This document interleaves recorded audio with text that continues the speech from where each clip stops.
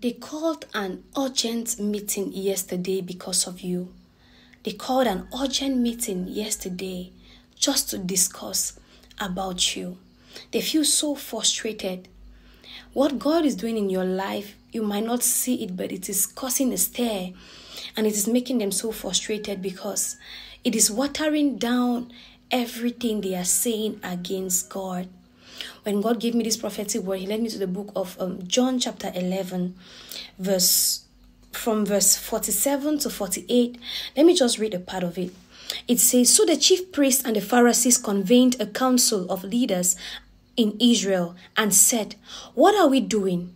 For this man performs many signs, attesting miracles. If we let him go on like this, everyone will believe in him, and the Romans will come and take away both our holy place, the temple, and our nation.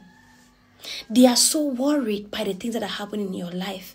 They do not expect you to, to break forth like this. They do not expect um, the kind of things that are happening to you to happen.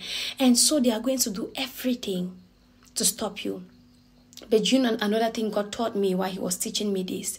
He said, All the while the Pharisees, the priests, and the Sadducees, they tried to kill Jesus all the while, but they could not lay hands on him. At every point in time, either God will blind their eyes and they will just he will just walk past. He will be in a particular place, but they will not be able to access him. They were not able to have access to him until God, until it was time for him to die, until it was time for him to be crucified.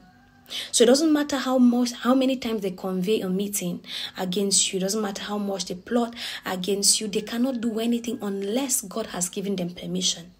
And right now, God is not giving them permission against your life because your life is a testament of the goodness of God. Hallelujah. May the Lord bless you. May He keep you and cause His face to shine upon you. May He be gracious to you and give you peace. In Jesus' mighty name, amen.